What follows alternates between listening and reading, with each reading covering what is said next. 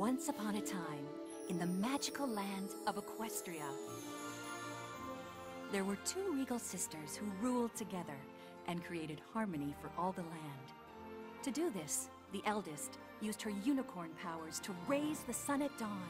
The younger brought out the moon to begin the night. Thus, the two sisters maintained balance for their kingdom and their subjects, all the different types of ponies. But as time went on, the younger sister became resentful. The ponies relished and played in the day her elder sister brought forth, but shunned and slept through her beautiful night. One fateful day, the younger unicorn refused to lower the moon to make way for the dawn. The elder sister tried to reason with her, but the bitterness in the young one's heart had transformed her into a wicked mare of darkness, Nightmare Moon. She vowed that she would shroud the land in eternal night. Reluctantly, the elder sister harnessed the most powerful magic known to ponydom, the elements of harmony. Using the magic of the elements of harmony, she defeated her younger sister and banished her permanently in the moon.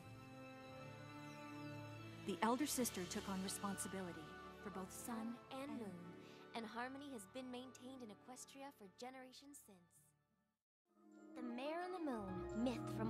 Pony times. A powerful pony who wanted to rule Equestria, defeated by the elements of harmony and imprisoned in the moon. Legend has it that on the longest day of the thousandth year, the stars will aid in her escape, and she will bring about nighttime eternity.